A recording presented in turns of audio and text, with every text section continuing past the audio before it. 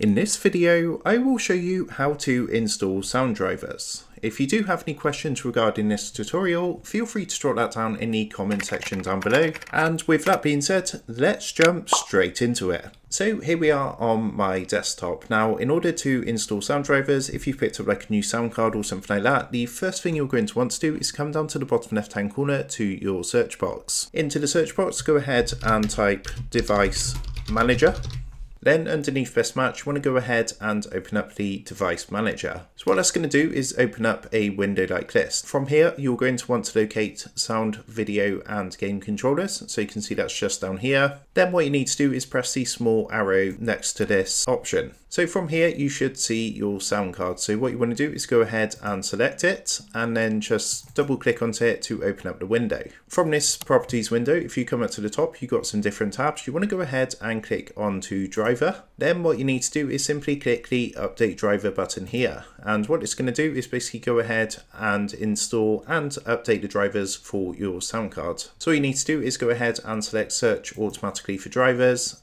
as you can see, of course, the sound card is already installed for this one, but for yourself, it's going to go ahead and install the sound driver onto your PC. So that is how to go ahead and install sound drivers. I hope this tutorial did help you out today, and if this did help you out, I would really appreciate it if you was to consider dropping down below the video, leaving a like, and also subscribing to the channel. With that being said, I just want to take a minute, thank you guys for watching this quick tutorial, and I will see you in the next video.